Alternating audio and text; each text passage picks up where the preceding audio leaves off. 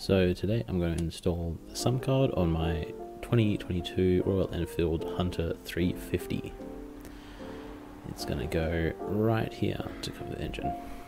So to begin with I ordered this from India.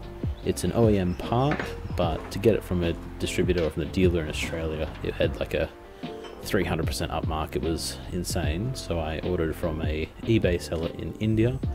Um, I presume he I don't know, has some way to get them directly from the uh, manufacturer in, in, India and he ships them out here and it works out to be about a, about a third of the price. So to begin with, we're going to take the four rubber grommets and just insert them into the sump guard plate. It's a bit finicky. I didn't rehearse this before I actually made the video, so the first one was a bit, bit of a struggle to get in.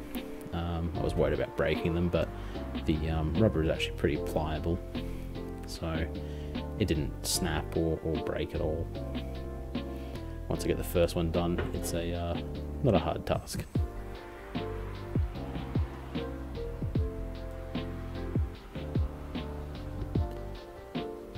And then uh, just went around and uh, did the other three. As you can see on my on my uh, desk there in the uh, garage, I've got the uh, rear luggage rack, which is not an OEM part. I also have an OEM windshield that I'll be installing next. It's just I asked my friends which one I should install first, and they said the sump guard, and it's probably a good idea because it's the one that's the uh, most practical and the most likely to prevent damage.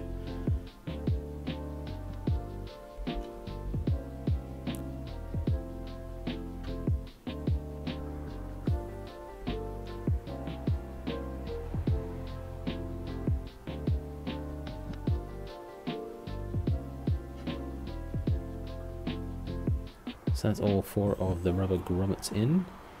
The next thing you'll need, presuming that you've got a kit that has all this stuff in it, and it's not just the um, item itself, um, is the little metal inserts that go inside of the rubber grommets. So you should have four of these. They're sort of a, a metal cylinder piece with a um, like a flangey bit on one end. So you just have to have them going from the outside inwards so that the metal ring is resting on the rubber grommet. These essentially when you're tightening the um, screws onto it it's going to distribute the load over the rubber grommet.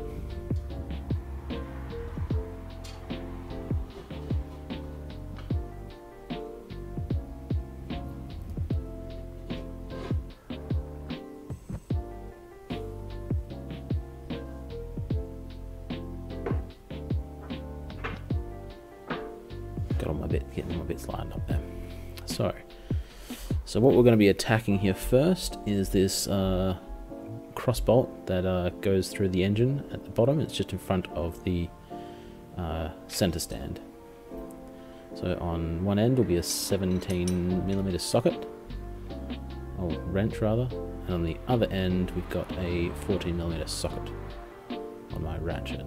And we're just going to undo it. We're not going to take it all the way out we're just going to undo it and give enough space for the rear sump guard mounting bracket because it sort of slides in between the uh, bolt end and the uh, bottom of the engine crankcase between the nut and the engine crankcase. So just undo it till you have a, a nice, I don't know, 3 millimeter gap either side.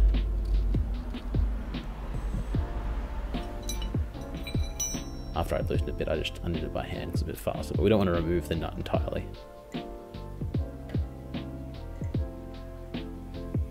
So we're going to take the rear sump guard bracket, which is the one that has these open-ended catchment pieces.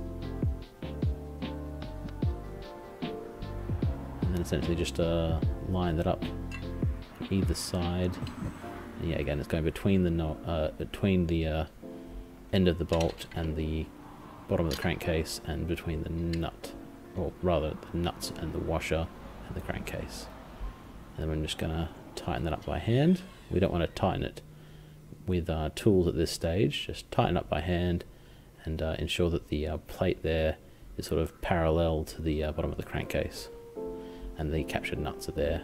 Very, I took a little bit of time here to clean up some overcorking from the um, manufacturing on the front here, so beneath the horn and just beneath the uh, tube pieces and the, where the cradle for the Classic goes, there's just these uh, block offs that you just have to take out to reveal uh, a through pass through the bit of the crankcase there. And then we're going to take the large bolt with our kit and we're going to be going right to left through the uh, crankcase there. But first, of course, we have to put in the bracket.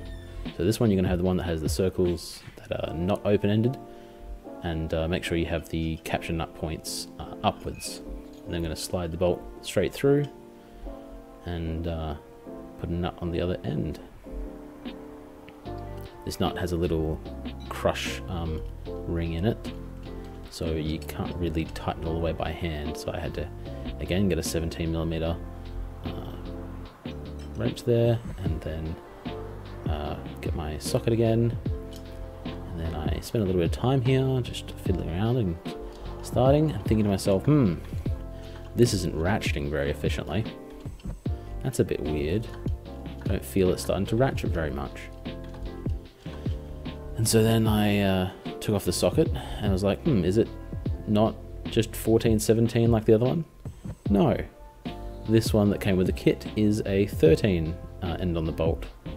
Still 17 on the uh, nut, the other end, but the uh, the bolt end is 13 millimeter.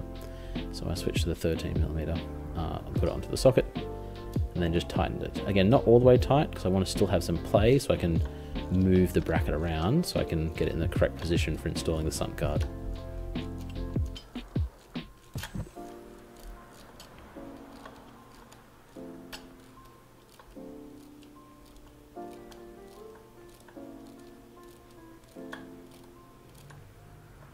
Again, you want it sort of parallel to the crankcase, which isn't actually entirely vertical, it's a little bit pointing outwards. Then collect from your kit, you you should have four screws. Uh, in my one, they were, uh, oh sorry, there's my sump guard, just getting in position, maneuvering it. So four screws, and my ones were hex headed, or Allen, Allen keyed. Didn't actually say anywhere on the screws what sizing they were, but I just grabbed my ratchet screwdriver and got, I think this was like a, I actually can't remember what size they had, but it's the one that fits. I'm sure if you have a set, then you can just put it to the one that fits. Not that hard to, to figure out. And then what we're going to do is we're going to loosely fit the sump guard essentially. While the front and rear of these brackets still have play, we can move them around and make sure that they conform to the to this to the uh, geometry of the sump plate. So just by hand, I'm loosely putting in all the uh, screws. Though actually, I think I I do use the screwdriver a little bit just to um just to make it a little bit faster and easier.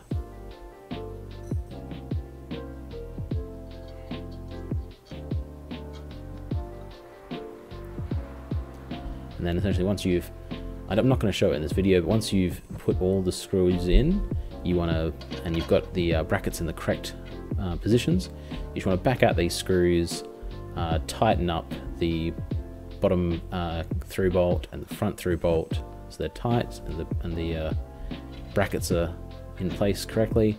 And then you probably should put a little, little bit of Loctite on each of these screws and then go through and, and put them in with your ratchet screwdriver and make sure that they're tight.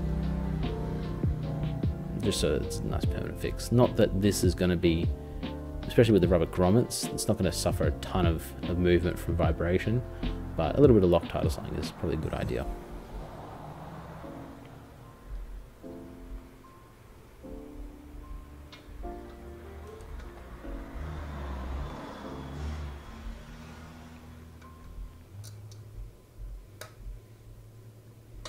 I should them up a little bit tighter just to, uh, so I had the final bracket location. But yeah, I'm not going to show you taking them all out and tightening the uh, sprocket bolts and then re-putting on the sump guard.